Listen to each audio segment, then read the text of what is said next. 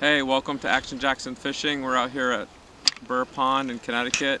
I'm Tim Jackson. This is Nathaniel behind the camera, and we're reviewing this Eskimo hand auger. Got it pretty cheap on Amazon.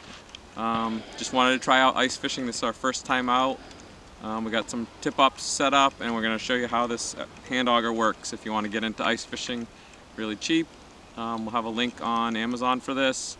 Here it goes.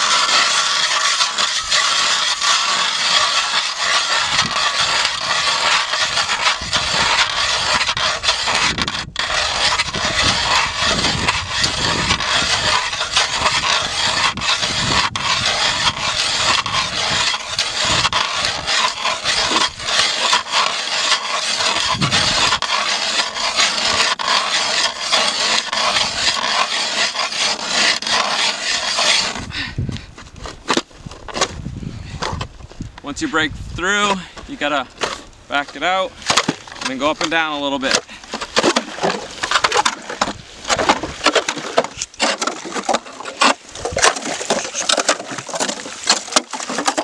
And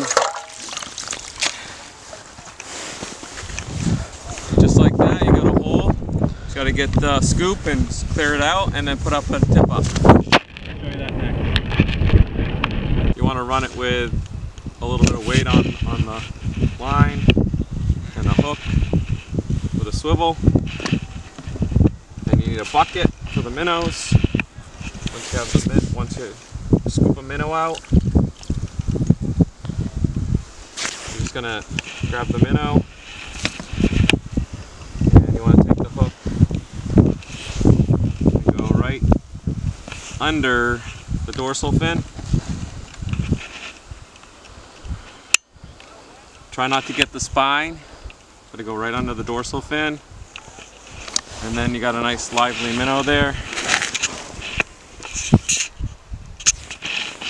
Shiner. Yep. There you go. Then we're gonna go put it in the hole next.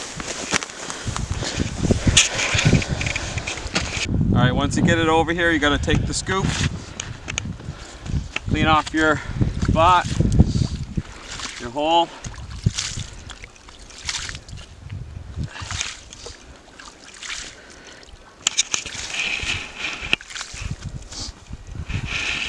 You're unfold your tip up. These are old style tip ups. They have some really cool new ones that we'll maybe link on Amazon. Pull up the flag, pull it down, hook it on there. Put your minnow down the hole.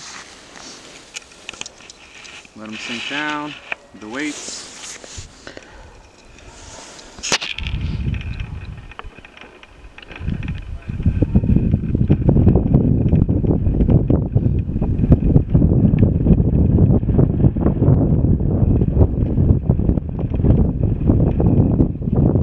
Back up.